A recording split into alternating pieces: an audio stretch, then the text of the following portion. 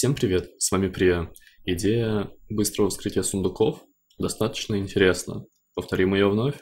Первый сундучок на ДК, потом второй сундучок ПВПшный, потом третий сундучок на Монке ПВЕшный, и потом четвертый на Воине ПВЕшный. Само собой были закрыты пятнашечки, и, может быть, упадет что-то интересное. Например, гитику на ТК, чисто ради коллекции. Ну, серьезно, оно уже не, не нужно, оно уже не пригодится. Ну, по итогу это другая пушка, которая пойдет на продажу.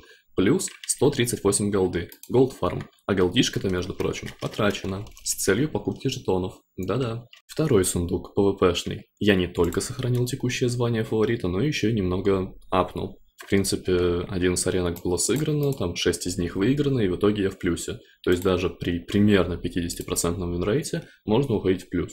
М, хороший тринкет для магов, но не для меня. Сундук на монке.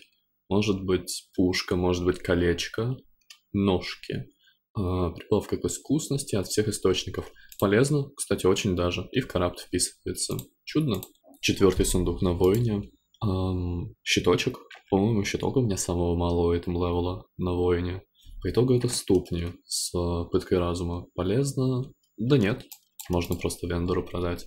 В целом, окей, ладно, сундучки открыты, все классно, все круто, довольно-таки быстро. Не забывайте о ссылочках в описании, не забывайте о совместных походах в Бзду. До скорого, берегите ноги, мойте руки.